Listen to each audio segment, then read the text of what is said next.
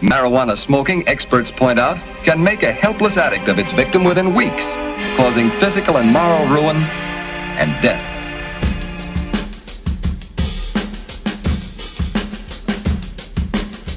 Historically, when a drug has become class-related, it generally gets criminalized.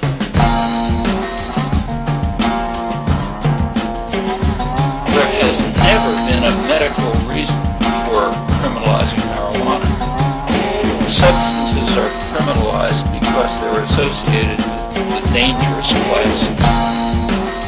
Poor people or working people. So for example, in England in the 19th century, gin was criminalized and whiskey wasn't. Because gin is what poor people drank. In the early stages of prohibition in the United States, one of the targets was immigrant workers. You know, these guys hanging around the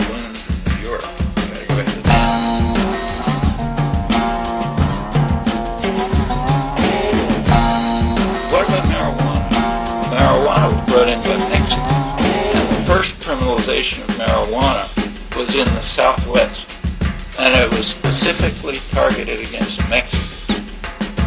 It didn't get criminalized in the United States until shortly after Prohibition ended. After Prohibition ended. After Prohibition ended, we had this huge Bureau of Narcotics. And they had to do something. The Senate testimony about this is mind-boggling.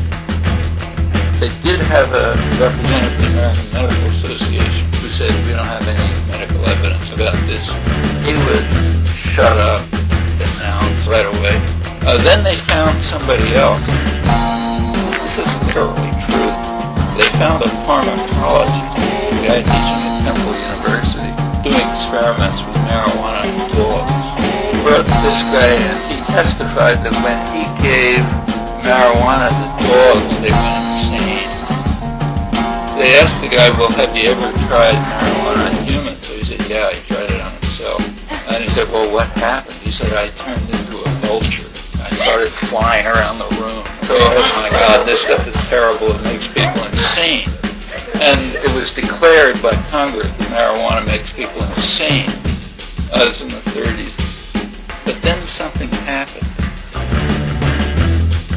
It turned out that the lawyers, defense lawyers, got the idea.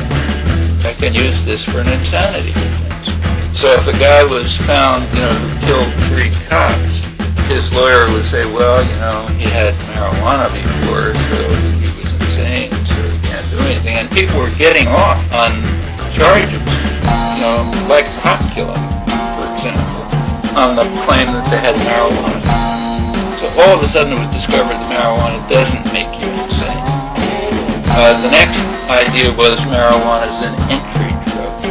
It's the drug you take and then you go on to something else.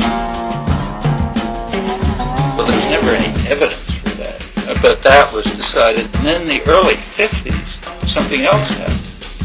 Marijuana is being brought in here by red Chinese to poison the American population and destroy us. So therefore we got to stop marijuana. And it kind of goes on like this. The peak of marijuana use was, as I said, in the 70s. But that was rich kids, so you don't throw them in jail. And it got seriously criminalized. You know, you, you really throw people in jail for it when it was people.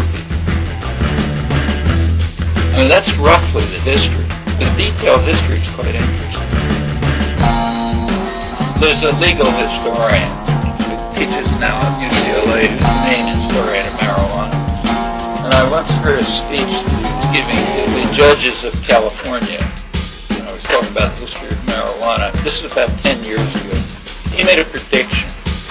He said he predicted that tobacco was going to be criminalized in the United States. And the reason was it was becoming class-related. Historically, when a drug class-related, it generally gets criminalized. And in fact, something like that's happening.